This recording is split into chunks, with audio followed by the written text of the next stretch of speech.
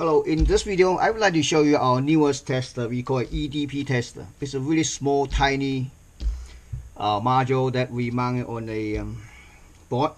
So that way it's easier. This one can test a five different resolution for the LCD screen that have an EDP interface. Most commonly known as the newer laptop screens, they have all have a EDP interface.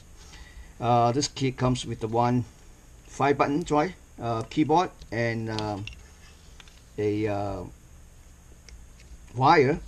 This end connect to here it's quite easy. Um, just okay there's a jumper you can set different resolutions okay? It takes a 12 volts. For example um, I have a screen here I want to show you. This one has older screen which is have 10 uh, 13 uh, 66 by 768 you just connect to it. Okay you flick over. And then on this end I have a Raspberry Pi really old one. And I need to connect the VGA I mean uh, HDMI cable. One end. The other end connect to this Raspberry Pi. And then the power of course for the Raspberry Pi and then I just apply anyway between 6 to 24 volt this one's 12 volt. Supply and then you should see it, it's it's putting up.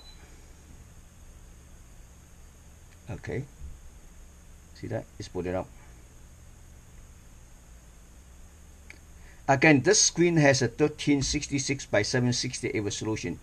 So basically this test kit is compatible with all 30 pin EDP interface screen that have uh, a 3.3A supply voltage.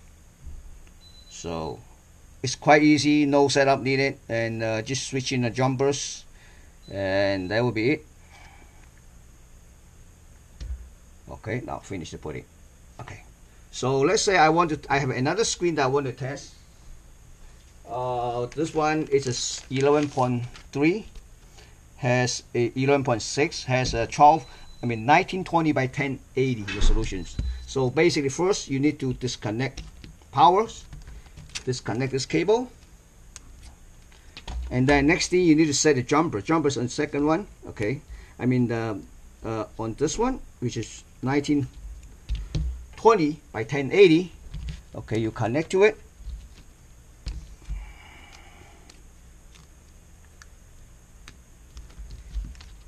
Then you apply the power.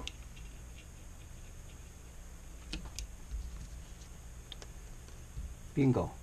So basically it's quite easy. The only thing you need to do is just disconnect the power and switch jumper to the correct resolutions. Then you can test it. It's quite easy. Thank you for watching.